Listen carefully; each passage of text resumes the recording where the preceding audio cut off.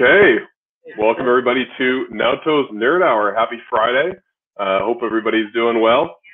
Today we've got, of course, Mr. Oh, oh, Mr. Naoto, the expert, the sharpening wizard himself, and he's going to be talking about uh, sharpening Takeda knives. What's different? What you need to know. Uh, they can be a little bit tricky to sharpen. Uh, we've of course got the sharpening cam back today. So as always, uh, pop your questions into the comments if you want to uh, see more of this kind of stuff, we'd love you subscribe and hope you guys enjoy the show today. Why don't you take it away now, Phil? Yeah, the uh, some announcements make the we just got a whole bunch of Storm came back in stock. Uh, for those of you who left the um, um, email me when the, the items available, uh, they just came back, and you should have received some email notifications. Uh, beside uh, with that, we got the some um, um Yamada um, hammered woks as well as some konros as well came back. Um, it, the weather is getting nicer in this, uh, well, at least Calgary. I think it's going to be like 15 degrees uh, over the weekend. It's a perfect barbecue weather. Um, you know, still a lot of restaurants are just doing the takeouts and stuff like that. I think why not you know, why don't we just go out and do the our own barbecue kind of stuff, right? Weather. Um, yeah, so we got a whole bunch of stones back, including the uh, whole selection of the uh, knifewear stones. So it's we got super excited. Okay, so today yeah, I'm excited. We've been we've been out of some of those for a long time, haven't we? Yeah, the um, sometimes those uh, people at the port want to do a, a uh, little bit of inspecting. so we uh, we they they got inspected by the Canada Border Service Agency and uh, kind of got delayed for quite a while. So now it's back. So we're yeah. They they must think we're trying to smuggle something in with those sharpening stones and barbecues, hey? I'm I'm excited. It's so nice in Calgary. Like the sun's been coming into my office all week. I'm uh, I'm gonna do some grilling this weekend. I think. Yeah. Bust out the konro. Yeah. So today's all right. is the uh, how to sharpen a uh, this Takeda knife properly. Uh, the reason why I chose Takeda today is that the uh, I came across um, another um, Takeda came in for sharpening and uh, the handle repair as well. But uh, that particular knife has been sharpened by a, uh, customer, but the, it was sharpened quite uh, differently. So um, different so that it doesn't um, cut as nice as it should and the the sharpening the, the wrong way will make the uh, knife um, doesn't like last as long as it should. So uh, today I want to show you uh, the way um, the Takeda-san usually sharpens so that it uh, prolongs or that the knife itself is gonna last as long as it should. Okay. So So I have some papers that people can see here. Japanese knives, most Japanese knives are made with like this way. I, hopefully it's gonna show good. So Japanese knives, like whether it's the, uh, well, I'm just gonna do this.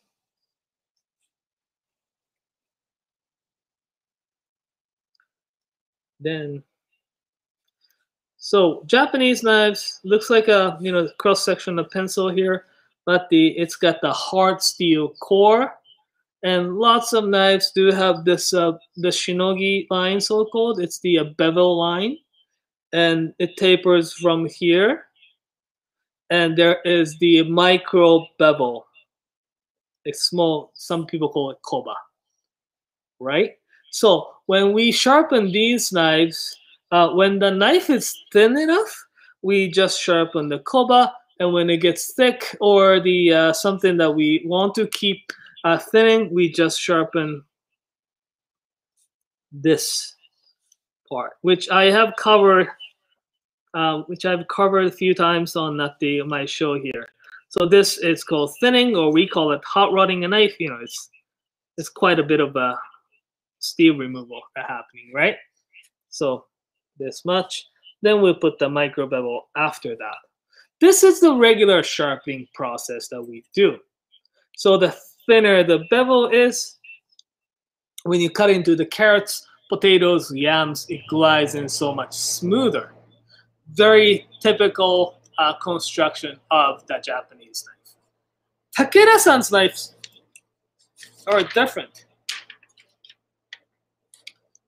As comparison to this knife, Takeda-san's knife, I'm gonna actually draw from the spine.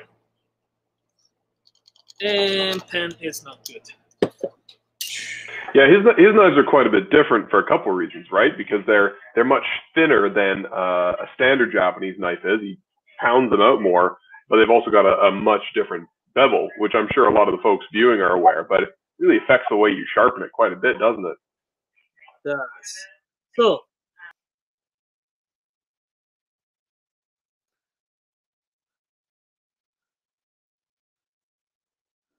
this is what the uh, Takeda-san's knives, the cross section, looks like. There is no micro bevel at the end. So what you want to sharpen is really just right here on the bevel, which is actually relatively easy if you want to do a just regular upkeep of the a, uh, Takeda knives. So there is a little bit like that. That's the core steel. Little bit of um, um, trivial knowledge from Takeda-san. If you watched the our uh, live show last week when I talked about Takeda-san, I talked, you know, said Takeda-san hammers so many times, like probably as twice as the other knife makers do. And that results in making that the blade so much thinner than others. But, but, the uh, because of that, he while he's forging it, while he's pounding the steel, he um he kind of the uh, has a little bit of problem. What happens is that the again, um, Japanese knives three layer steel, right? Hard steel in the core, softer steel on the outside. Naturally uh, thinking, it's like, say, you know, if you try to a, uh, it's like a hamburger?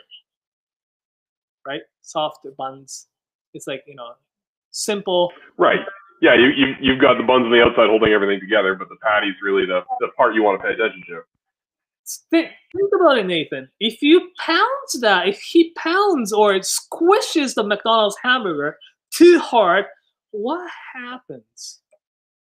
Well, I I think we've all been at a pub eating a burger, uh, mm-hmm. and there's too much mayo inside and it gets squished, and everything kind of just slides apart. So is that what happens with the steel? Steel, the core steel doesn't slide out, but what happens is that softer part, when they start from the steel like the three layer like this, right? Can you, can you see? It's kind of three layer like this.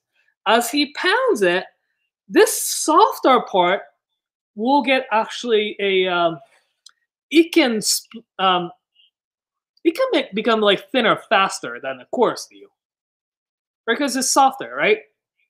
Right, because it, flexes and, and, bends more under the pressure than the, the core steel is going to. It's going to so absorb more of the shock too because it's on the outside.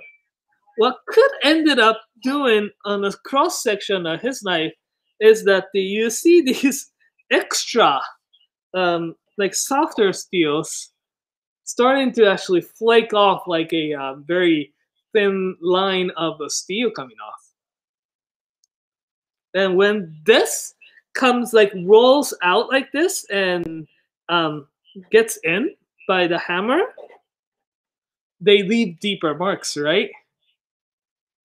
Because this can this can curl like core steel, and this can curl, and this curl can can uh, actually you know bang into the steel, leaves the deeper marks. So he sometimes stops and pinch this with the uh, the little little thing, and it pulls and take this off. It's a lot of extra work. Really? So, so he's yeah. So he's manipulating the outside of the like the cladding steel while he's forging the knife. He, That's he, a lot of extra work and attention to detail. This is result of the uh, making the it like the steel super thin, but he doesn't like this, so he pinches and takes it off. So it's it's a lot of work. Anyways, that's uh And and how does he do that? Does he have a pair of tongs where he's kind of like pulling off bits of hot steel while he's forging, or yeah, it's like that. The, it's, yeah, it's like you know one of those tongs that the uh, people use to uh, hold the knife. That's how they use, right? yeah, yeah, it's it's like he's pulling taffy while forging a knife, so he's doing two jobs at once. Yeah. He's, uh, he's really good at making knives, isn't he? He he, is- he has a different uh, thinking process, but it's it, it- it's great. Alrighty, so let's just get on the uh, the actual sharpening part here. Okay, so I just got the uh, new 220 stone out because it gets super thin, and if I press it too much, I, it may just get break it, broken. So uh, I just put the uh, new this Sniper 220 out here. So you have to be a little bit careful when you're sharpening together. What you do is not to give a angle like this. This is about 15 degree angle that I usually sharpen at the uh, Japanese knives with. But his knives, I just press it where the bevel is. I'm just gonna move the camera a little bit up from the upwards here, okay? So, Yeah, and if anybody is, is wondering about the secondary camera angle Naoto's hand's working and you can't see what he's doing, let us know and we can we can always adjust it. So you're doing sort of a teeter totter thing, like you're rocking the knife on the bevel a little bit on the on the stone there, hey? yeah, when I press it down, this is moves. Um, it's probably worth mentioning how Takeda-san sharpens as well. Takeda-san sharpens by actually he does it a little bit weird. Uh, it's it's different, I guess. The uh, what she does. Yeah, it's, it's uh, weird watching him work. It's almost more like he's sharpening, like how people sharpen an axe than how most people sharpen a knife. he marks where the bevel is like this. I should have done the uh, and also put the backside, but I'm just gonna do this. He marks the bevel with the uh, the you know like markers and stuff like that. Then he has the handheld sharpening stone and works on it. Um, it's the same thing. You could just do the same thing on this one here. Only thing again you have to be careful is that the, you don't raise the angle. You just follow that the bevel. Okay, but little bit of trouble or a little bit of um, downside to this this trick here. He says to uh, sharpen it until you don't see you you- you take off the all the markers. But this marker can be taken off super fast. Yeah, in my experience, marker grinds a lot faster than uh, carbon steel does. So it's uh it's uh, it's fine, but it's not necessarily that the best way to sharpen. Really, the best way is again pretty easy. That the holding a um, angle where the bevel is back and forth. See how shallow the angle is.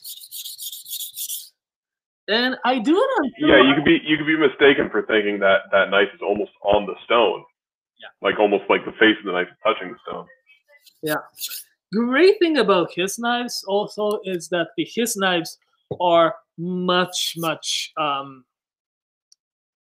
it's thin but it's not as fragile like i've i've seen very little chips out of his knives i think it's part of the uh, heat treatment process that he does it's the uh, probably the annealing process Now, I remember when when Fujiwara-san was visiting Calgary uh, about five years ago. He said we we asked him why he preferred uh, working with super blue carbon steel, and he thought it was more elastic on sort of a, a molecular level. Do you think that has anything to do with why Takeda uses super blue, or why you find Takeda to be more rugged than you would expect? I would probably say it's the uh, the molecule structure after annealing. He um, he aims for the certain structural uh, crystallization types, uh, which is the uh, more circular or the round shape. So when so annealing, for those who don't really know about what the annealing is, um, I explain it like a so the process of which is that the after you bang the steel with the spring hammer to make it the shape like a knife, uh, what they will do is the they heat up the steel again to the certain point, leave it for a little while, and gradually, uh, usually like leave it in the oven um, overnight, and gradually um, lower the temperature to the room temperature. But so it's like you're taking your knife to the spa, like it's kind of stressed out, and you're just you're just giving it a massage and letting it relax a little bit and calm down.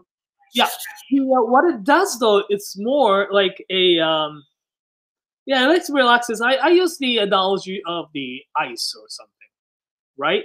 When you have the solid ice, you crush in, crash, and into the, the you can make it any shape out of it, right?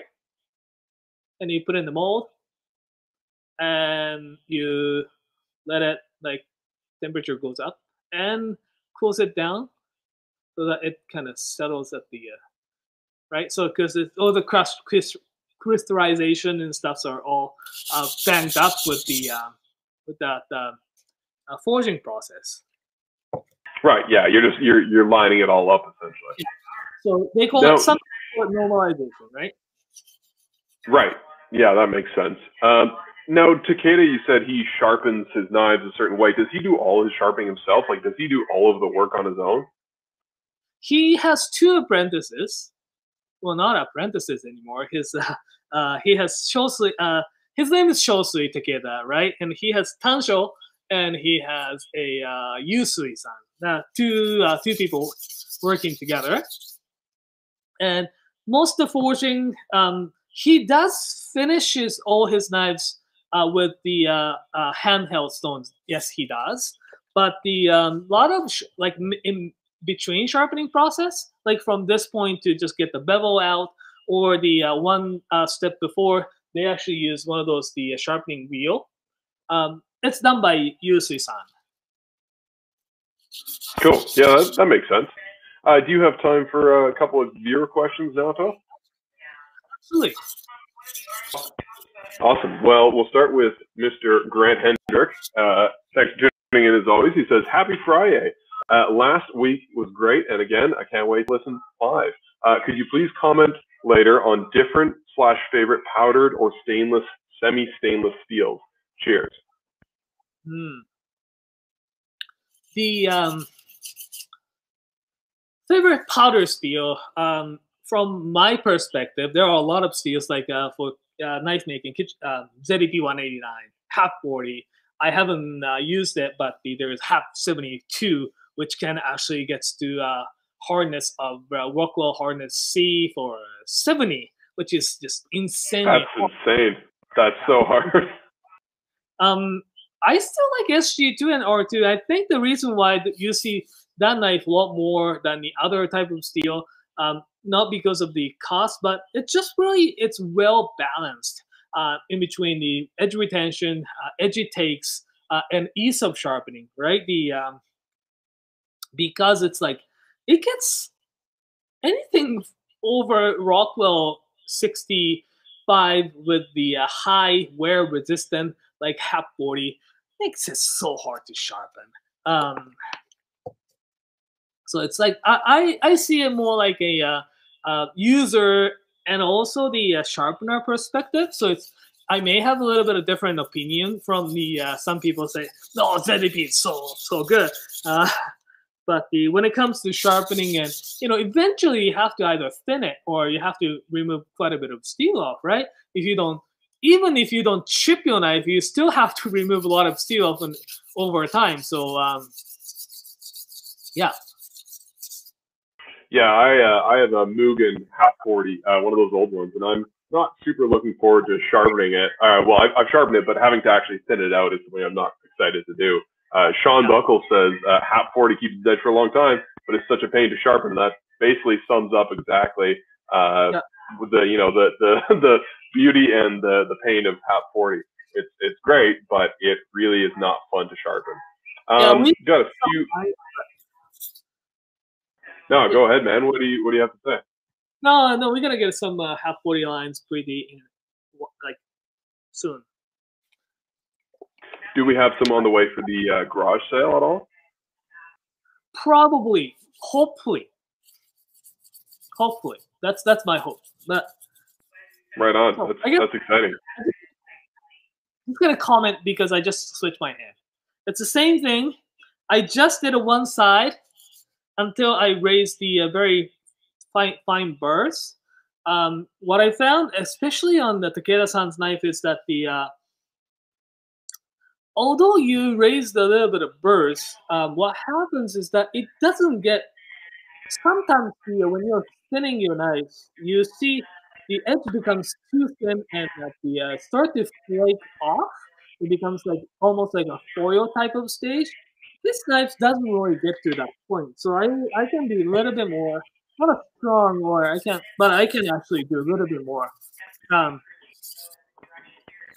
more safely, I guess. Yeah, right on. So uh, a couple more questions here. Um, Jason Lynn says, uh, any hints for keeping that shallow angle on the backside when you're sharpening a Takeda knife? this this here.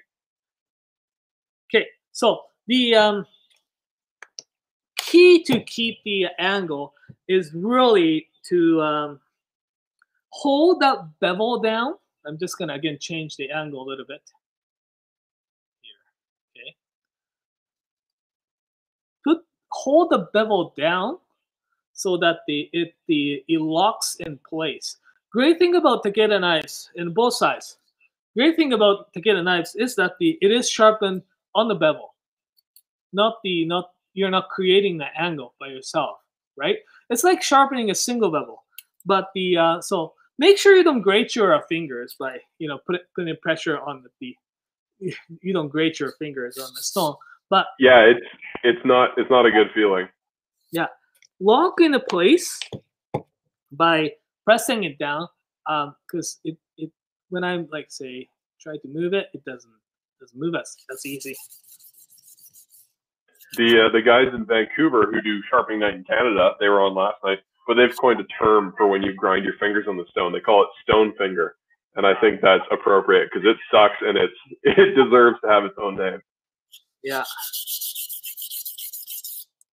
Now, Jason was talking specifically about uh, not doing ambidextrous sharpening, like just holding the knife with your right hand. So when you're doing the backside, you've got the bevel away from you.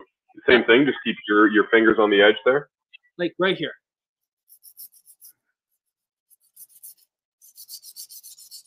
See, my fingers are always on that the uh, and it locks there.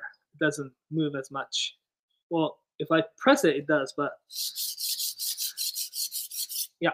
I, I, I find, because I'm not nearly as experienced or skilled as Naoto, I find if I take my time doing it and I move more slowly across the stone on that second side, I'm a lot more consistent and the knife doesn't rock around on me as much. It's much Hmm. easier to keep the angle. Um, Andy Irion uh, has an interesting question. Can you put tape on the backside? I'm assuming he means to kind of lift the knife up off the stone a bit. right. Um, you could, I guess. The I've seen um some people done it, um, but tape is not strong enough though. It, it can get, get um it can get ripped off pretty easy, ripped apart. So Yeah, you could use electrical tape, which uh, we sometimes use when we're sharpening straight razors because some folks like to keep the spine up off the stone a little bit. But I find on stones that are, are rougher than a thousand grit, even on a thousand grit, the tape gets ripped up pretty quickly. And the tape trick really only works well for finer stones like 4,000, 8,000, that kind of thing. For those of you who watches or who's uh, who's been following us on the uh, you know the Thursday evening sharpening night in Canada, um, they use the uh, this uh, thimbles, you know, like a little rubber thing to cover, uh, protect your fingers with. You could definitely use that on takedas as well, because what happens is that the uh, what you can do is that the uh, put your little in finger uh, protector on your index finger, set your angle because setting the angle on this one is pretty easy. Then your protected finger will go on the spine of the uh, knife here. Then use that index finger as your guide. I'm not going to do it today because I don't have the protector, so that otherwise it's just going to grind my uh, finger off. So that's pretty good um, tool to use actually. Okay. Uh, Francis last night uh, had some in, an interesting trick. Um, he was using some uh, neodymium magnets that were thin, and he had just stuck that to the side of the knife, and it actually seemed to work pretty well. It, it's more like kind of training wheels, but it seemed to work for him. Yeah.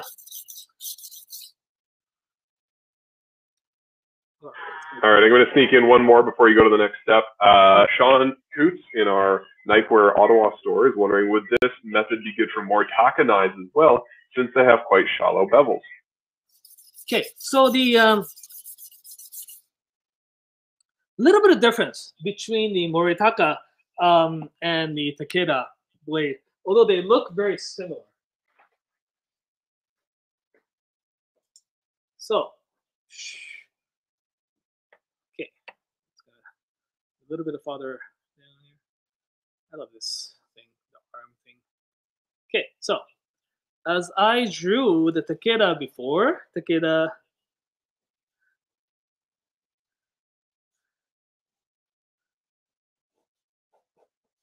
Takeda sounds like like this, right? There's no, there's only one bevel and there's no micro bevel.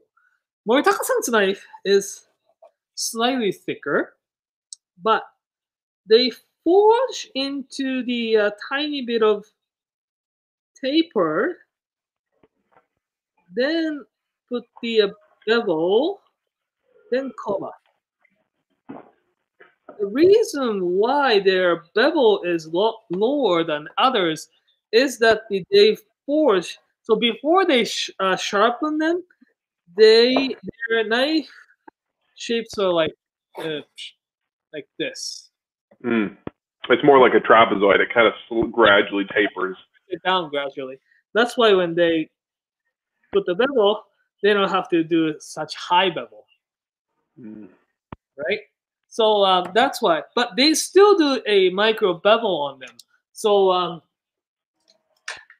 the bevel itself is much shallower. So if you actually do sharpen like a Takeda way, you start to see a lot more uh, flaking, and also the uh, the knife itself becomes so much more um, fragile. So I wouldn't actually finish the same way as Takeda do.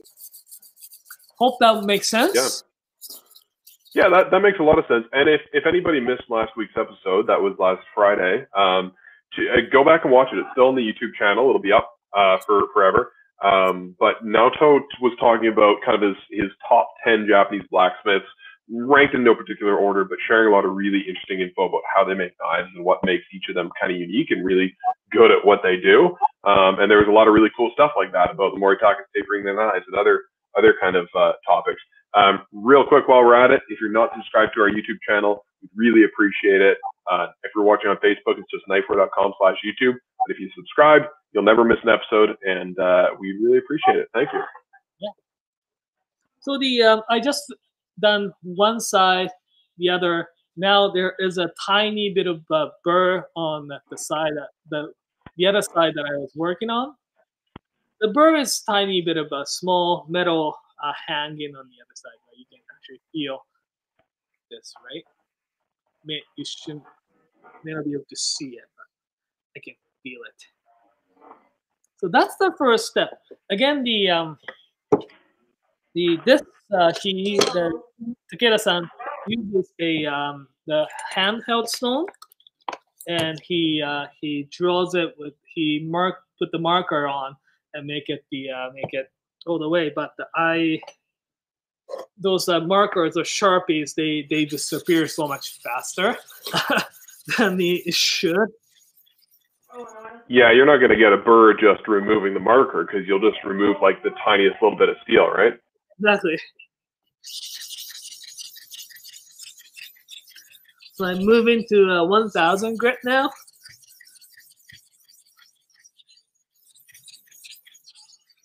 But yeah, I found Takeda-san's knives are great because they make the uh, although it's sharpened like pretty shallow angle, it doesn't like I'm sure Nathan you have you had it before when you're sharpening and you make it the edge too thin and uh, you start to see that the foil looking nice like and start to bend. Yeah, back. the the edge starts to like flake, and you kind of panic because you don't know what the hell you've done, and it's well, I, I, the first time you do it, you don't know what you've done, but it's it's a very kind of terrifying thing.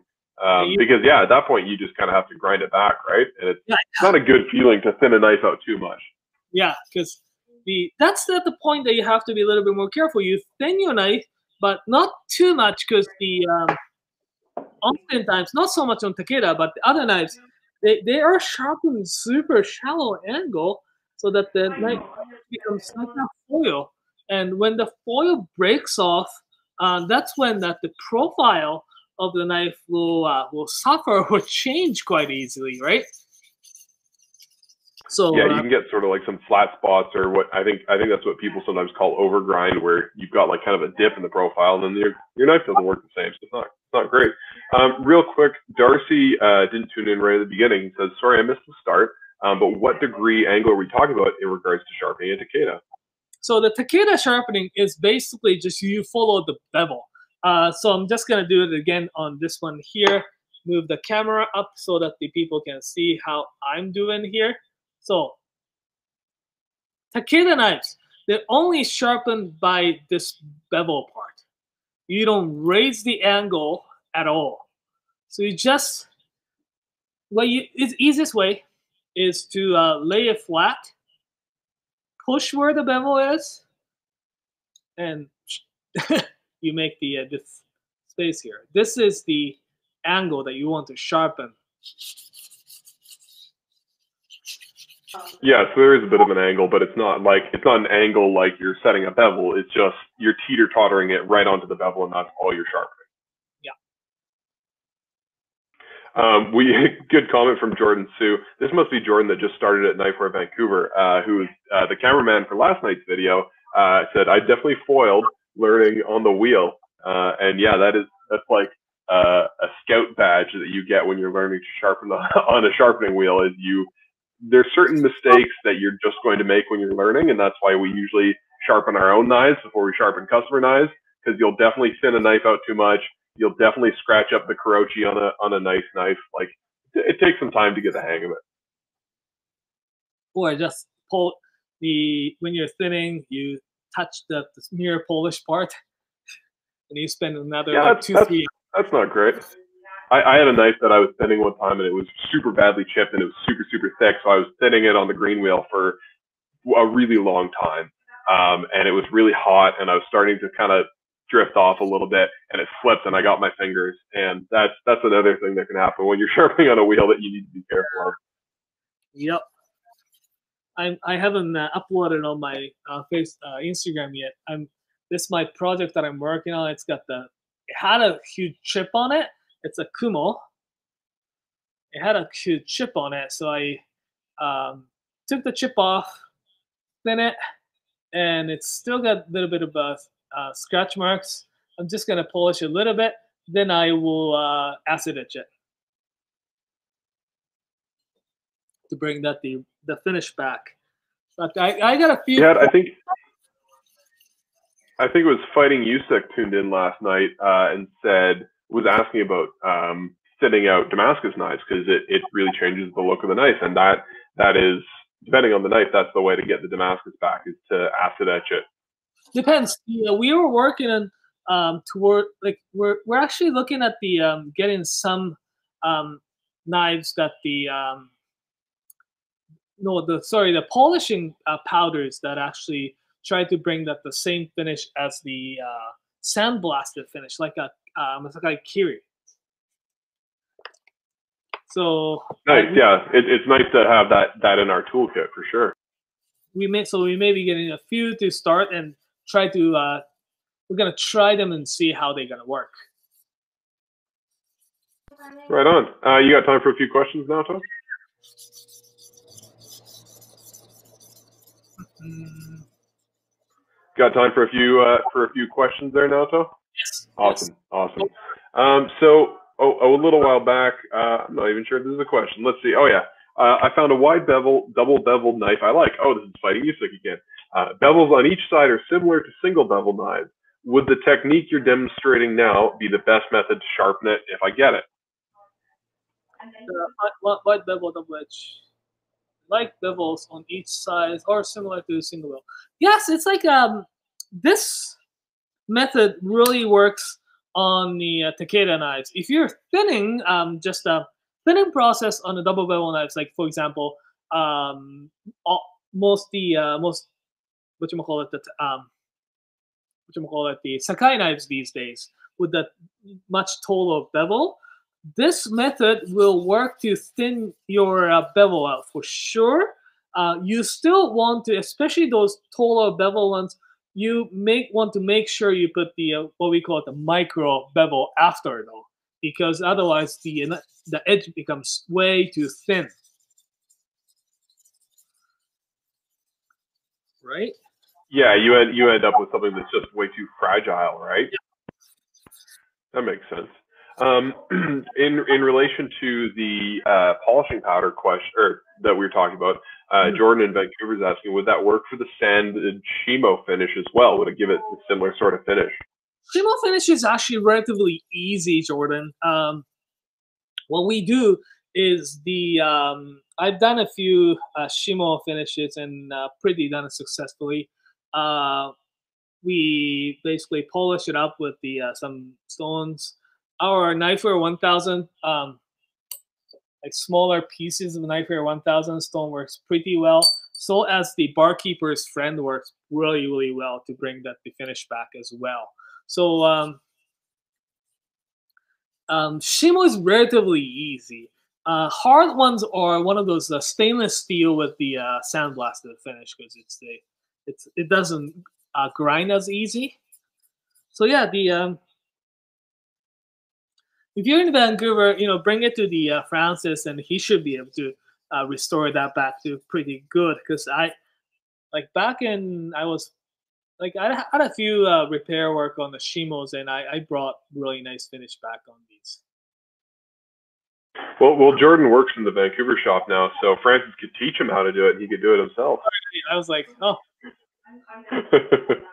this, is my favorite comment today so far. Uh, Sean, who works in our Ottawa shop, I'm glad our staff are tuning in. This is exciting. Uh, says, All I want for Christmas is my thumb skin back. Megan from Ottawa after sharpening all day. yeah, I can I can relate. I don't work in the shops very often anymore, but when I do, um, like back in October, we had that charity sharpening drive, and we got way too many knives to sharpen.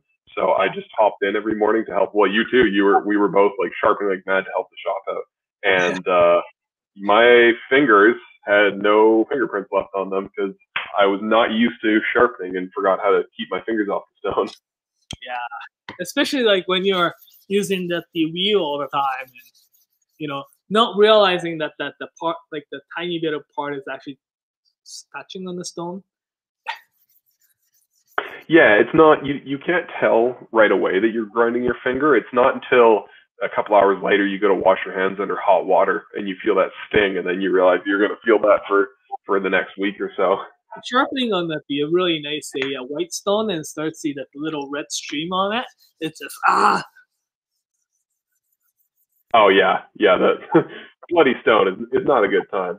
No uh, okay we got got a couple more questions here that i was going to pop in here so thanks folks for waiting i know uh, we're we're focusing on the technique today, so uh, not getting too many questions in, but we'll we'll catch up. Um, Jordan again in Vancouver says, I've got a Shimo 210, Moritaka AS Santoku, Marushin Nakiri, an unknown Hanasuki. Uh, any 150 petty recommendations for something unique that we might see soon? I like variety. 150, 150, 150. Um, 150 petty. Musashi. Musashis are pretty sweet. Yeah, we're dropping that 150 these days though, because we have this sweet Hanazuki these days. Right? I'm excited to get those Masashi Hanazuki. Well, we have we have some already. We have the Shiroshu and Kuroshu. I'm gonna get a koi. You know, oh, good. That's awesome. I might get that one. Koi uh, You know, you know what would be a great 150 Hanasuki, and I think we just got restocked on. We just got a huge shipment of Moritaka knives. So if you've been wanting a high quality, high end uh, carbon steel uh, knife, Moritaka is the way to go. They make super, super awesome knives. They've been making knives for over 700 years. Well, swords and knives. Um, but we got a huge shipment of them in last week. And so if you need a, a sweet knife, maybe get a Moritaka. If you want a 150 petty, they make they make a 150 petty, don't they? Yeah, they do. 150 petty. You know what the like favorite 150 petty is the uh I don't know if you have those right now, but uh, Takamura, um, Akagohan or Kurogohan, either or. I, I love those petties because so thin and tapers it so well. I think we have this a uh, Sakai O 150 mil uh, petty, Kiritsuke petty. It's got a little Kiritsuke tape on it. I think we have that in the stock right now. That is, if I were to look for something super cool and unique, that may be the one that I will, I will be interested in. Yeah, I uh, I saw that knife when, when it came in for the garage sale. I'm shocked we have any left. Um, but that thing feels like a scalpel. It is so light and thin, and that, yeah, I think you're right. That is that is maybe the best 150 petty ever. It's so cool. Yeah, that that is that is fantastic. Any other questions?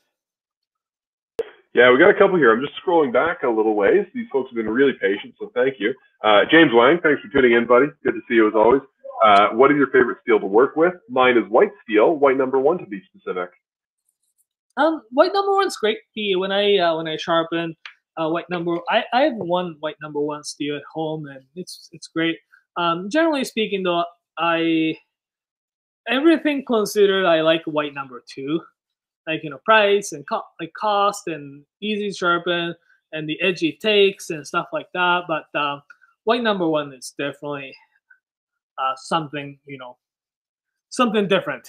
Um, we're gonna get the uh, some uh, white number one um, Fujiyama Honyaki uh, mirror polish uh, by the uh, uh, what's his name? Not a Shiraki. It's Nakagawa-san. The the he's basically uh, he's got all the skills from the Shiraki, and he is now he's uh, started his own name uh, Nakagawa Hamono. He's pretty well-known name. We're gonna get the uh, uh, Honyaki from him pretty soon. Um, we're gonna get 240 Fujiyama Hamon uh, Honyaki with the quince, super beautiful quince handle with the uh, quince um, uh, sheath. Oh, that sounds amazing. That that sounds right up James' alley because I know James has a pretty nice knife collection. When you say Fujiyama, you mean like basically No. that's like a Mount Fuji shaped hamon on the knife. Exactly, exactly. We had it before, right? that's Fuji right. with Crescent Moon and stuff like that. We had it before when I like when we started working. Knifewear. Yeah, I'm excited. I'm excited to get it back. Um, a bit of a troubleshooting question here with Mateo. Uh, it says, "Hello, I have a problem with my Shirogami number two knife. Every time I cut food with high amounts of water or food like onions or garlic, it rusts immediately, even if I dry it right after use. What am I doing?" Um, I I have a white number like the I just got the um, old Sakai knives, and I thought it was gonna happen like that, but the uh, it didn't. So one of the things is that the, it may take a little while to build the patina on the outside. Um, patina will build on the uh, outside of knife slowly. They'll protect from the rapid uh, rapid rust. You could force patina by a uh, uh, soak in the coffee or um, soak in it like you know put the uh, what you call it the mustard and something like that. I, I don't like mustard idea because I would like to eat. So if you have like you know day day old coffee that you forgot to drink, uh, it's like so disgusting to even like microwave it. Uh, I'm just gonna uh, soak the knife in and force patina on it. Yeah.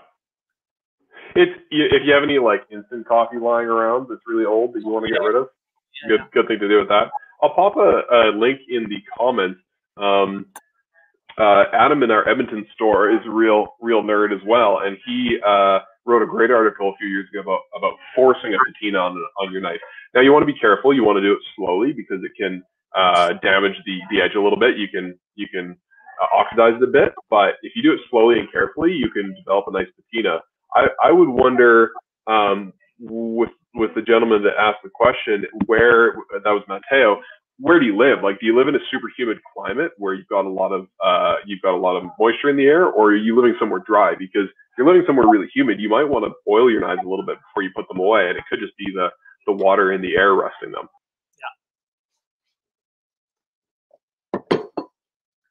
Alrighty. From here, I did the progression from 2020 grit, 1000, 2000, then there is, so it's just right, it's just here. So what I'm gonna show you here, it's really quick, is that the, uh, sorry, sorry, just gonna go back on 2000 grit. There's a bit of tiny bit of burr left, so I'm just going to remove this really quick. So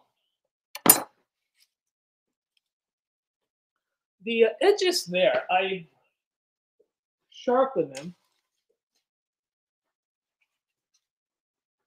So this is like pretty sufficient enough edge for a Takeda. The uh, you know I probably need a little bit more um, what you call it the uh, uh, stropping. I just did the on the stone, right? But the this is pretty good um, edge on them, right? Um, what the Takeda-san does is though the uh, he uses the uh, little he calls well we call it tomonagura. Uh, it's broken in half, so it's pretty thin piece. But the uh, he uses to finish this uh, bevel. Uh, one is to a uh, you know if you look here, it's got a really nice kind of probably this camera is better now. It's got the Nope. nope.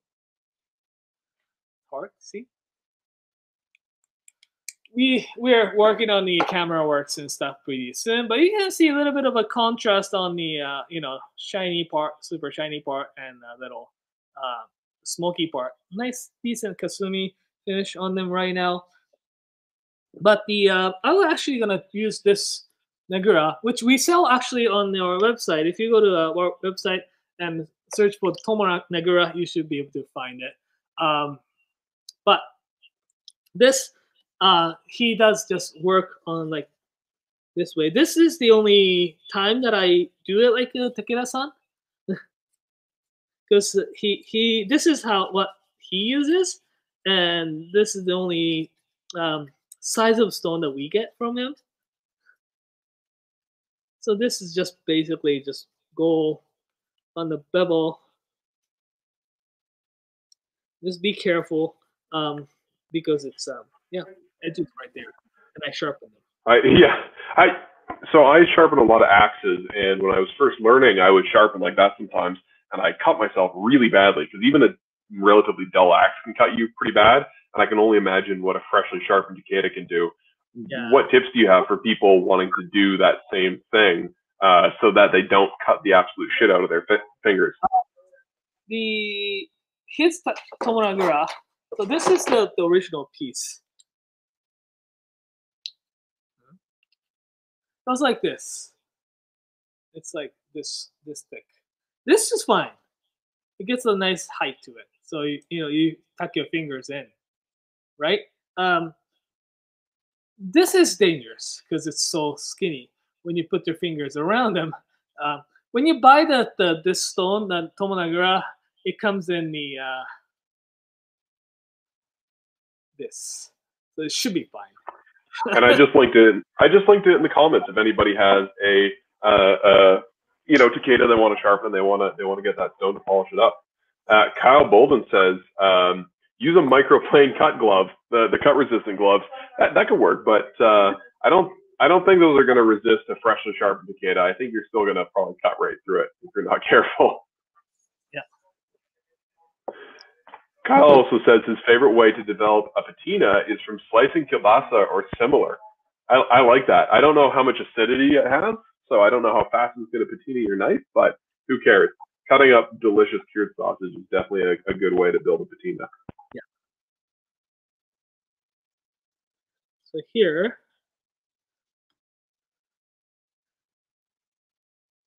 is the uh, and this is the like he he does it um and no two three stones like usually he does this uh like this technique on the uh on the medium grit then move on to the, this uh stone to finish. This uh shobudani is that a mountain tomo nagura sorry it's kind of camera work is kind of weird but So, so you're basically just following the bevel carefully, trying Yep. like not adding a micro bevel. You're just keeping with a consistent bevel there. Exactly. So the key is that the, you follow this bevel. Just gonna, I'm not sure which angle I should be doing this, but um, you don't want to make this angle like this. Just follow the, just follow the bevel angle. You may benefit by actually uh, this process. You may benefit by uh, uh, putting the uh, those uh, more uh, what you call it sharpies to leave the mark. So, so not at the beginning, just just at the end once you've finished on your fi- finishing stone, you put some Yeah. sharpie on there, and then you finish with that tomo stone just to remove the sharpie. Yeah. For those of you who joined us like a little bit late, just a bit bit of announcement today. I guess we're we're, we're sharpening and we're showing you how to sharpen the uh, Takeda knives, which is quite a little bit different from the uh, lot of uh, other knife makers. Also, we are um, uh, doing this a uh, well, just announcement. We just got a whole lot of a uh, knife sharpening stone shipment back uh, today. So they are available on the website right now. So if you want to a um, purchase a stones or people have been waiting on the, the stones, just um, hop on. We hopefully have enough for a little while. Bit, little bit. Yeah, there's a few. There's a few we got restocked that have been out for a while. Like we got the 4000 grit back, did we not? Yeah, and yeah. probably the Knifewear 220, which are both very popular stones. Yeah. And we got a few Konro grills back, as well as some Moritaka Ishime knives. We got a big big shipment of Moritakas and a handful of Konros. So if you're uh, if you're feeling the heat like we are in Alberta, uh, maybe maybe you need to pick up a grill and start doing some grilling in March. Why not, right? Yeah, it's, it's beautiful weather this this weekend, right? Yeah, it's been like plus plus ten, plus more. I'm I'm loving it. I'm just gonna have beers on my patio for the whole weekend. I think, as long as the weather keeps up. So by finishing on those natural stones, that will give a little bit like it still does have a shiny and little polished, but it's got a little bit more milder finish. I did finish with the um, uh, I no, uh, I've tested the other day with the uh, microscope that we have in our uh, warehouse. That goes up to a thousand times micro a microscope, and when you see them, you can see tiny bit of a serration left on the takedas, like you know, even brand new ones, and that works as a uh, really nice teeth on the uh, those knives here. Can't remember why this came back. this perfectly fine knife. It's got the little weird, but any, So, any so what was wrong with this knife in the first place? You said uh, it was a customer's knife and it had been sharpened kind of incorrectly for a while. So what what can people avoid doing when they're sharpening their own takedas at home?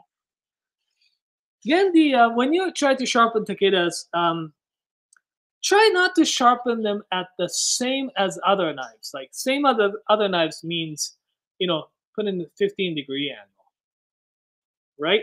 Because takeda knives are sharpened at their bevel. It is much like shallow. Look at how like little space there, like right in between. Just gonna do it a little bit closer here. Ah, that's close. this is how much space that creates with his uh, sharpening bevel. Usually 15 degree angle is something like this, right? So okay. I'm gonna ignore the Calgary call. So, so that's the how little the angle is. If you put the like the apply the uh, 15 degree angle like this one, you you be creating the bevel too big so that the um, and that's going to make the knife too delicate and obviously not cut the way a Takeda is supposed to cut, right? It's not making it delicate. It makes it be too thick pretty soon. It's pretty fast too. Because as you can see, Takeda, there are only like a tiny bit of an exposed core. And to go like surpass this, um, the core steel is really easy by putting a 15 degree angle, right? And 15 degrees is really shallow as well, but it removes that the much more steel than it needs to. So it's like quite a bit of different. Like this is Takeda angle, and this is the 15 degrees. Um, the, he can do this because again, the uh, heat treatment that he does is slightly different. He um, he annealing process that he does, annealing will uh, normalize the steel, but not only normalize, but he makes the uh, all uh, crystal structure into more like a circular or round structure. Sometimes when they do that, they make it a little bit more agile and also a bit stronger. That's why he can do this type of the uh, sharpening. Um, not everyone can uh, put this like shallow angle and make it as strong as Takeda's. That's really interesting. And what about the people? Because you know you see stuff online and people have opinions, and sometimes one person's opinion becomes you know a, a truth online. Um, what would you say about some folks say Takeda knives are too thick and they kind of wedge through food? Do you, do you find that, or is that more just like a, a way people think of them? It will. The it's it is true in a way because again that the beveling angle, although it's very narrow, shallow here, uh, what I would do, give me one second. I'll bring another knife for to show. Okay. Yeah, absolutely. Um, if anybody has um, has questions they want to ask Naoto, pop them in the comments. We're covering all the kind of nerdy aspects of knives today. So uh, sharpening techniques, especially advanced sharpening techniques, uh, info about blacksmiths and steel types and all that kind of thing. Uh, next week, we're going to be covering Naoto's top five or top 10 Japanese knife sharpeners. So make sure you don't miss that. So what do you think? What have so, we got? So here, I have this uh, broken uh, little chipped uh, Yuki here. Yeah. Yuki's bevel angle, this is the original bevel angle. Bevel angle on this one here, like this is flat on this uh, um, flat on this part, and if I press it down a uh, bevel, this it's much shallower than Takeda bevel. Right? Like if you look here, this is Takeda flat. This is Takeda bevel. Right? You see the space here, obvious space, where Masakage. Hmm. so, so Takeda's kind of on like the the midpoint between a primary bevel and a secondary bevel. Like he's kind of neither. He's he's kind of straddling that line a bit, hey? Exactly. So this uh, from the secondary, like primary bevel to the, the uh, secondary bevel, this taper, uh, Masakage has a little bit more nicer, shallower taper to it.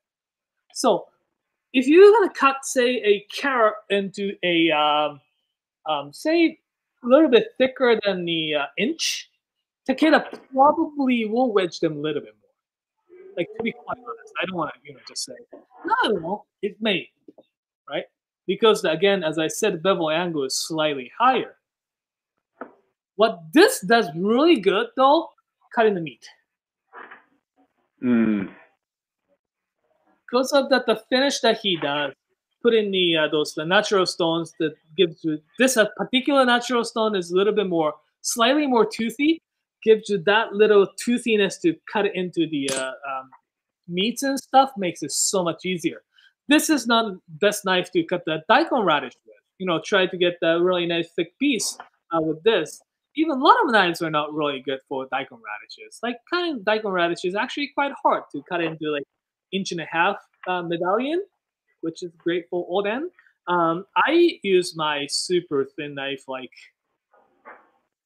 Masashi. It's got a wide bevels and stuff like that. So I use those. So it's it's not all. So there's like pros and cons. Like Takeda knives, I like it how thin this is. Taper may not be as like super shallow, but the uh, still works fantastic.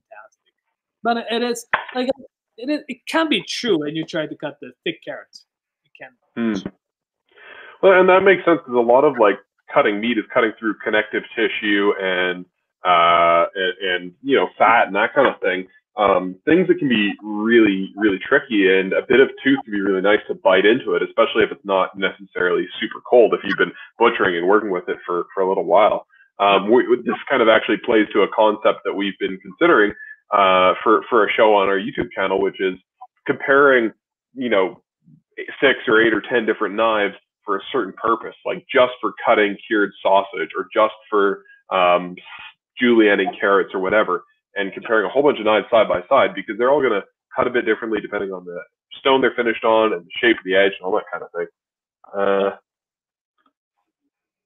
got an interesting comment from Fighting Usyk. Uh, terminology in the pocket slash sporting knife world, primary bevel usually means from spine to the sharpened edge, uh, with that being secondary bevel. Yeah, because a lot of like hunting knives, for example, not so much maybe the Scandinavian ones, but a lot of hunting knives will have more of that taper from the spine down to the edge, and then they'll have that secondary bevel. What What do you think, Naoto? There are a lot of different terminologies. I mean, Japanese don't use the uh, um, you know secondary bevel for like primary bevel, but the uh, knife like these guys, they have that the prominent bevel starting from this part. Uh, in Japanese, this uh, line is called shinogi, and shinogi from this beveled line, beveled part is called the kiha, and they have the uh, the uh, micro bevel, or in Japanese call it the uh, koba. So it's it's like equivalent equivalent terms, right?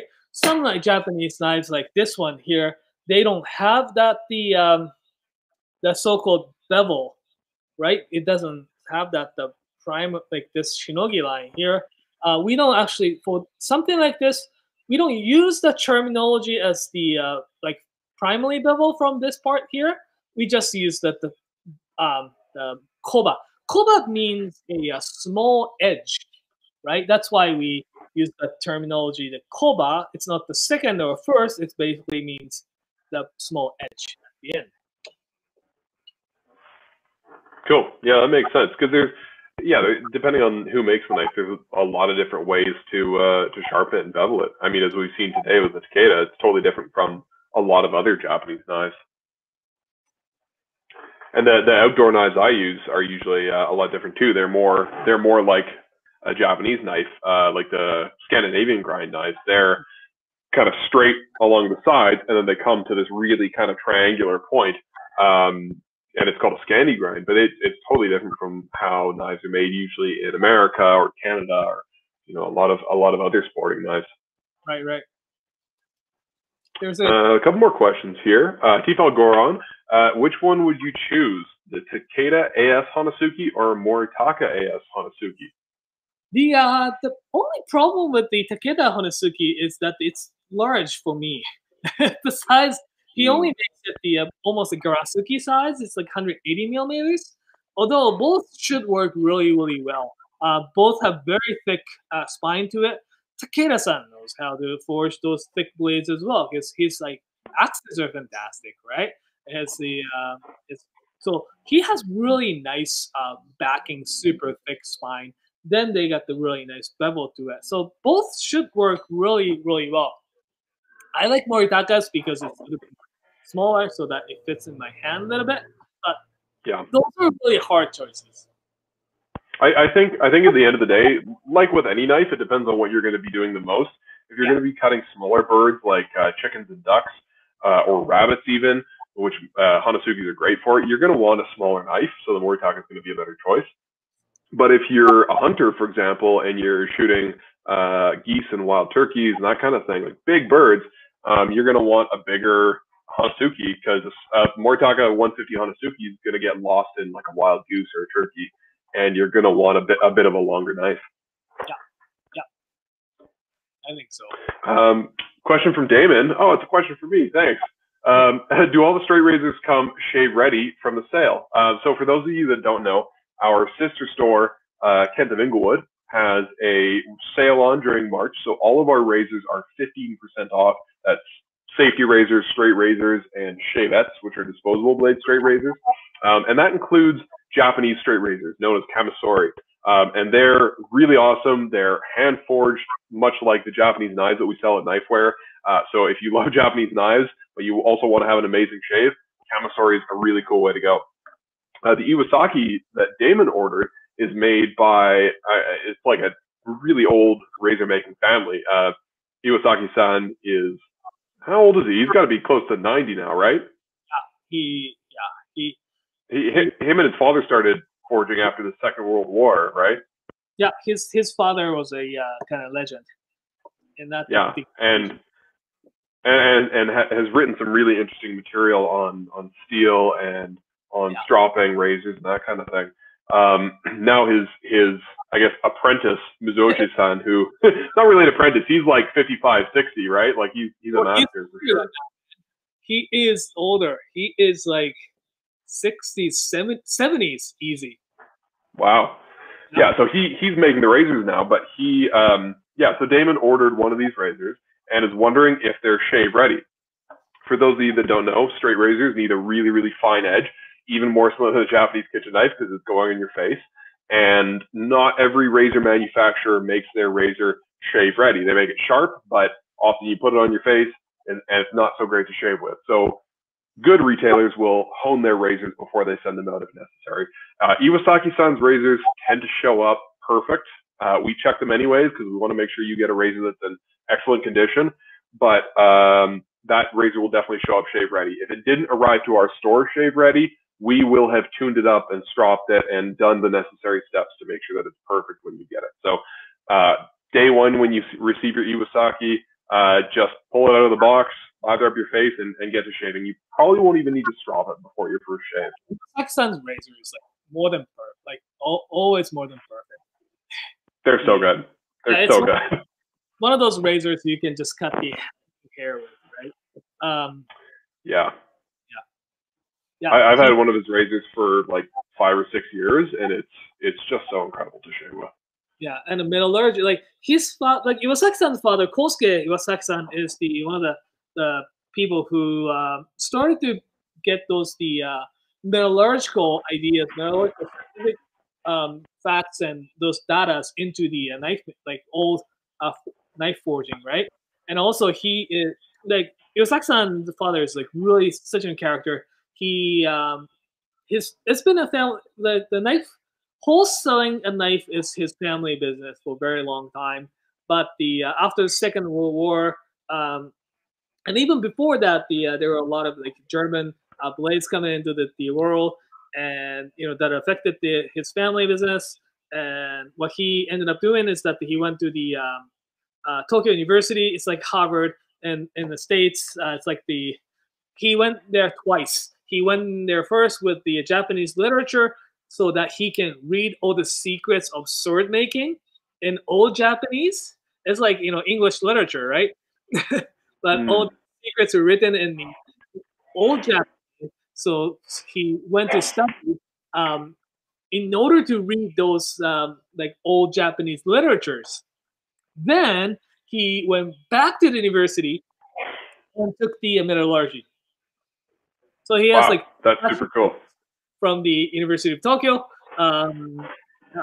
So he he is a he's a little bit of character, nuts, a little bit, you know. but that's how. Uh, even even Iwasaki-san is a bit of a character. He kind of looks like Doc Brown from Back to the Future. Like he's got really crazy hair, and you can tell he's just like super dedicated and focused to like r- making razors. If anybody wants to know more about these, check out uh, Springhammer and Springhammer Two. They're two documentaries that we made. They're on our YouTube channel, um, and they're just they're about knife making in Japan and, and the process and the history. And, and I think the one of the first interviews we have in the first one is with Iwasaki-san, right? Yeah, yeah. He he's, he was fantastic. Yeah. Yeah. Couple questions. Uh, yeah, a couple more questions here. If anybody has questions, um, keep them Yeah. going. I mean, it's it's Friday, so we'll be gone soon, but uh, keep your questions coming if you want to if you want to ask anything. Uh, Jordan uh, in Vancouver says the tip for the Honesuki that I have, and that was the mystery one, which is made out of VG10, uh, is more on the Kiritsuke side, and the heel is larger. Does to know if this is a regional thing? I don't know exactly where it came from. I may want to take a look at a picture. The Kiritsuke side is what? That's more on Yeah. the side. So, so the tip, I'm guessing he means the tip comes down more. Normally, there's just a little bit of a slant, but the tip of the knife is really close to the spine on a on a Honesuki. I may have to take a look at it because the it may be a regional difference. Sometimes the uh, wasn't really a thing, and like Moritaka-san, we asked them, "Hey, Honesuki is a shape that looks like this. Can you make it?" Um, they're like, "Oh, okay. Uh, this is the for chicken boning, and you know, uh, has to be thick, and you know, that that's how sometimes it comes about." So uh, may have to take a look at the picture. So if you wanna, you know, send us picture, that's that'd be great. If anybody has questions for Naoto or just wants to see more uh, knife repairs and sharpening and, and learn a ton, uh, follow him on Instagram. It's at NaotoKW. Uh, that's N A O T O K W. And he posts a lot of really cool stuff. A lot of, lot of repairs, a lot of uh, sharpening knowledge, some really delicious looking Japanese food that always makes me hungry when you post it. I, I have to post some of the food pictures uh, now because I I've got probably five knife uh, pictures, consecutive knife pictures. So you know, I to Uh, like, yeah. Yeah. Wh- What are you gonna What are you gonna cook this weekend? You should post that. right. You know, I I've got quite a bit of like good food pictures like over the like I haven't done any. I haven't posted anything for Valentine's and you know some nice Valentine's dinner and stuff like that. So it's it's it's I have enough uh, pictures. You've got some options. Yeah. Um, Fighting Usyk says, uh, speaking of razors, thoughts on using a hanging strop for knives? Um, real quick, for those of you that don't know, usually we use uh, a strop, a piece of leather attached to a hard board for stropping kitchen knives. Whereas when you're stropping a straight razor, you want to have a hanging leather strop. I don't think mine's uh, accessible right at the moment, but you usually want to have a flexible piece of leather. You don't want to have it flexed, but you want to have a piece of razor that is flexible when you're stropping your straight razor. They're a bit different. you could use them though, right? Because when I when the uh, Shiba drops his uh, knives, he does it with the uh, um, old denim jeans, right? He has them like uh, a, he has them on top of the his sharpening station. He pulls and he does this. Right. So you know, it's it should be just be careful not to cut into it because the leather piece of leather is not the, uh, not the cheapest material. Yeah. Yeah, totally. Especially if you're using good quality leather. Like our leather strops are $69, and I think a, a solid chunk of that cost is just the leather because we use good quality bridle leather. Um, when you're getting into straight razors, like I have a, a Cordovan leather strop, and that's like a $400 razor strop because it's a really, really, really high end piece of leather. Um, and, and even the the horsehide, which we like to use straight razors, more mid grade, but it's it's still you know $200 for a, for a strop because it's really high quality leather. So yeah, definitely be careful with it. Does Shiba have just like a whole pair of pants hanging above the sharpening station, or is it just a strip? Pretty much the whole whole well, like probably cut in half. Okay, yeah, that's that's kind of amazing. I love that. Yeah. Uh, Jordan said he just sent you a picture of uh, of the Honesuki on Instagram because he's interested to learn more about it. Check it out. Yeah. it out. Well, um, I don't know if anybody else has more any more questions. We'll give you a couple more minutes to pop them in the comments. Um, next week for Japanese Knife 101, which by the way is at 4 p.m. on Friday, uh, Mountain Standard Time. Naoto's going to talk about his top Japanese knife sharpeners, his top five or top ten knife sharpeners.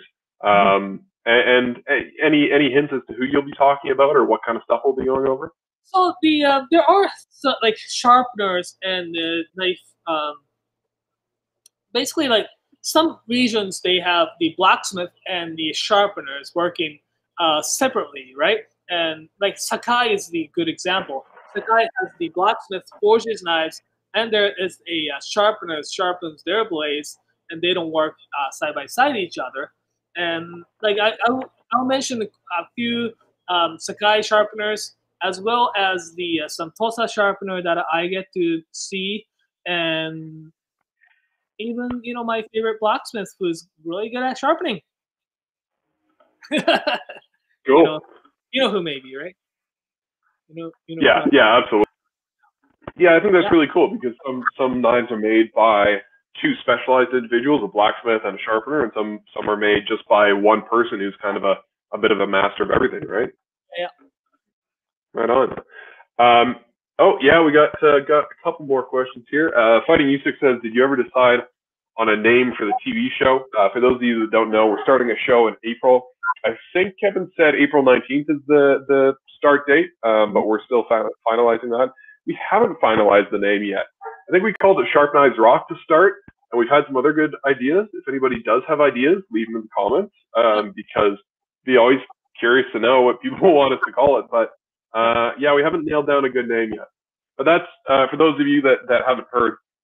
That's going to cover uh, a bit of everything. You know, some cooking, some interviews with local chefs, um, knife knowledge, obviously, some sharpening, some competitions, and kind of weird challenges. We'll probably do some some slightly bizarre stuff, maybe some live music. So a bit of everything. Yep. And I uh, I just get to talk to a. I haven't talked to a him Ikeda-san directly yet, but I'm hoping to have the uh, uh, interview piece uh, made with Ikeda-san because the uh, he just um, became a fifth generation Anryu Hamono uh, head of Anryu Hamono. So um, that's I really cool. Talk to him about that because the uh, generation change hasn't happened in that the that particular Knife Village um, for a little while. And I mean, like Kato-san took it over so that was probably the one. But yeah, other, other than that, you know, so much generation change had happened in that Takefu Knife Village. Um, Kurosaki-san started his own workshop, but it's not, you know, past like it's not the direct. Um, yeah, that's that's a new a new brand sort of. Yeah. So um, I would like to talk um, him about how he feels be a uh, fifth generation of that the very long lasting um, you know family business and stuff like that so yeah there could be a lot of cool questions uh, yep. I, I, think that that you could ask him but also that viewers could could submit I as well so we'll i may do it in the uh, japanese because he's not really super um, outspoken person mm. so i may do everything in japanese and record them um, put the uh, subtitle and the release them so that people can watch yeah them. Well, we, we should do a do a live interview, like kind of a long one, and then we can we can edit it down a little bit and have a have a condensed version for, for people. Yeah. Um, a few other bits of news that I have before we go today. I think we got we got one more question there that we'll that we'll get to. Um, but I think everybody's heard by now, but uh, our sharpening stones got restocked, so we just got knifewear sharpening stones back in stock, uh, including the much sought after 4,000 grit stone, which has been out for a long time. Uh, we got some Konro grills in, as well as Moritaka Ishime knives. Uh, just got a restock last week. So we got lots of great stuff at knifewear.com. Uh, our sister store, Kent of Inglewood, uh, that's that's kentofinglewood.com. Uh, but we also have stores in Calgary, Edmonton, Ottawa, and Vancouver. Um, they're having a razor sale right now, so all straight razors and safety razors are 15% off. So if you need to take some hair off your face or your legs or any other part of your body, uh, it is the best way to do it. Uh, we've also got a new blog at knifewear.com, uh, which is all about Gyuto knives and, and kind of why they're great, why every kitchen should have one, and a few suggestions I imagine everybody watching probably has a Gyuto already, uh, but if you're on the lookout for a new one, check out the new blog. And finally, we have a new video from Mike uh, about smashing garlic with your knives and, and how to mince it properly. Um, there, we see so many knives that come in because they're either bent from somebody smashing garlic the wrong way, and yes, there is a wrong way to do it, uh, or really aggressively chopping on their cutting board, and they've either chipped their knife or they've just really dulled it badly. And so Mike goes over some good tips on how to smash garlic with your Japanese knife safely, as well as how to mince it in a way that won't dull your knife quickly few questions, like I can see some few more questions that we can answer before we go. Yeah. So Kensho 320, if you found the Kensho Zan, Z Z A N Z A N um, series, it's pretty good. I've used the Zan um, 1000. The, they were developing a 320 when I was there. Uh, Zan series is great. It is designed to cut your steel faster. Uh, it, they use a really good the aluminum oxide as a um, um, as a polishing compound or the uh, abrasive, so it cuts really really fast. So um, yeah, it's it's good stone. I um, and they made it pretty thick as well. I think the Zan 320. So they they how they develop their product is the uh, they have this um, concept in mind that you know I they want to do this with the stone and they develop after. So um, yeah, that that stone is should be pretty good. We haven't we haven't carried them. We have a lot of stones that right now, but uh, we haven't had them. But yeah. should be pretty good. Um, good one from Lucky Phil. This is a question we get a lot, especially on our online chat on our website. I was looking at buying a Fujiwara knife, but I hear there the fit and finish can be inconsistent. What do you guys think? It's it's Fujiwara-san's a um, it's it's very unique. Say say put it this way, he makes it really really sharp. He uh, he forges and he he treats them really really hard, and he um, yes, it could be a little bit inconsistent. The handle, uh, you may see a little bit of um, you know um, not a super big gap, but the it, in, imperfection there. And he thinks it's cool because it's uh, handmade. So um, for those who likes those a little bit more uh, imperfection by um, from that the handmade knife. We'll call it rustic. Yeah. So uh, it's not, um, it's not for everyone per, se. Like you know, people who's looking for a perfect, like you know, super well fitted fit and finish knives, they may not be right, but uh, it works really well. The Nathan, you have the Denka from him, right? Yeah, I have a 210 Denka that I've had for, like I said, he visited us five or six years ago, and, and that was when I bought it. I really liked his knives, but I, I became convinced when I got to actually meet him, and everybody was getting their knives engraved by him, so I, I really wanted to. But um, there, there's two things I, I think about Fujiwara knives. If you're looking to buy one, first of all, if you can visit one of our stores because we typically have more than one in stock and we can show you a few and you can pick your favorite one. So if you're a particular individual, which is totally understandable, um, you can come in and pick your favorite one. If you can't visit one of our shops, email us hello at knifewear.com or message us on our website. There's a little chat box, uh, and we'll show you photos of the ones we have in stock, and, and we can either pick the one that we think is best for you, or you can pick the one that you like the best yourself. The other thing is your knife's going to change. Um, the way the knife is out of the box it's only going to stay that way for a very short amount of time compared to the lifespan of the knife. So my Fujiwara Denka, I've only had to sharpen it about twice, but it's totally changed because I've sharpened it and I've been able to give it the fit and finish that I like. Um, nothing about the way his knives are made is going to affect the performance of the knife long term. There's no issues with the way the steel's tempered or anything like that. It's just like some polishing on the edge and grinding and that kind of thing. And those are all things that are going to change when you sharpen it yourself or you get us to sharpen it. And um, it's it, your knife's going to change. And so I love my Denka and I've fallen even more in love with it as I've sharpened it and it's developed and become more mine. Um, but if you want to pick a very specific one, shoot us an email. We'll be happy to help. Uh, looks great, Naoto. uh, Kyle Bolden said that just a comment says that'd be amazing if you did a video with Ikeda-san. He has some really big shoes to fill. Uh, which is totally true. I think he's very capable of filling them. But uh, yeah, that's that's a big a big step up. Yep. yep. Um, Fighting Usyk, um, favorite Japanese whiskey? Oh, ah, I I don't have enough experience with it. I, I do drink a lot of whiskey, but I haven't had the side by side type yet. I had the Mm. Ichiro Malt. Um, it was like one of those. Um, Ichiro's Malt's pretty good, smooth and nice and uh, nice, easy drink. I was rare piece, and my mom was into the whiskey, so uh, that was probably one of the nicer whiskey I had. But Ichiro's Malt, I wasn't really aged that long, so it, it was okay. It's Yeah.